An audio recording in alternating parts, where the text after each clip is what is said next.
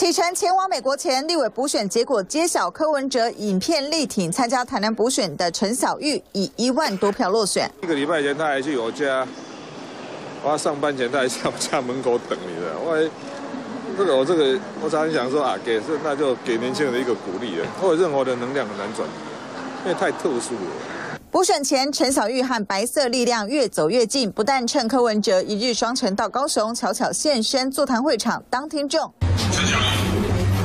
选前之夜，陈小玉收到柯文哲加油影片，白色力量却没成吸票机。柯文哲自评能量无法复制贴上，而高雄市长韩国瑜南来北往卖力辅选，也没如愿让蓝营抢下新北和台南席次。韩流效应还是很强，只是。只是这样的，就好像你土石流有个程度哎，不是说我这个大概淹一个小村庄也可以，你要把整个城市都淹掉，也不是那么容易。